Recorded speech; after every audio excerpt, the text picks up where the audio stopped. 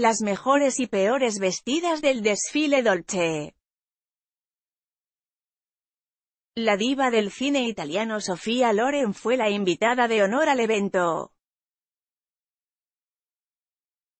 La actriz, resplandeciente a sus 83 años, y ganadora de más de 50 premios internacionales, incluidos dos Óscares, lució un vestido con flores rosas, diseñado especialmente para ella por los modistos. A sus 83 años, la diva del cine italiano deslumbró anoche en el desfile Dolce. Foto, Reforma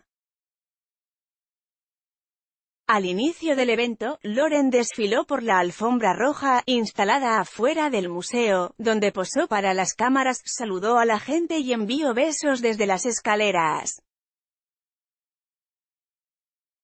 Ya en el interior, se sentó para disfrutar el desfile como invitada de honor, al lado del empresario Carlos Slim y de la primera dama, Angélica Rivera. Como buenos visitantes y admiradores de la cultura, siempre llevamos un regalo a los países en los cuales presentamos nuestro arte.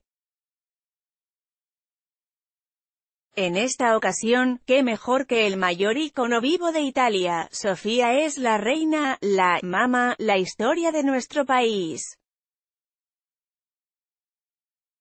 Es una mujer espléndida, con curvas y con todo el sabor latino que tienen también las mexicanas, afirmó Estefano Javana. Hablamos con ella por teléfono y le dijimos que veníamos a México y, muy dispuesta, dijo que quería estar presente en este gran evento, agregó Domenico Dolce. Con el objeto de atraer al público joven, en la pasarela de anoche los diseñadores contaron con jóvenes mexicanos que reinan en las redes sociales como Juan Pazurita, Michelle Salas, Diego Boneta y Juan Pablo Magnor. Ludvika Paleta encabeza la lista de las mejores vestidas con un vestido con transparencias e incrustaciones de pedrería. Irene Azuela llegó divina al glamuroso evento. Stephanie Salas acompañó a su hija Michelle, quien desfiló en pasarela, pero...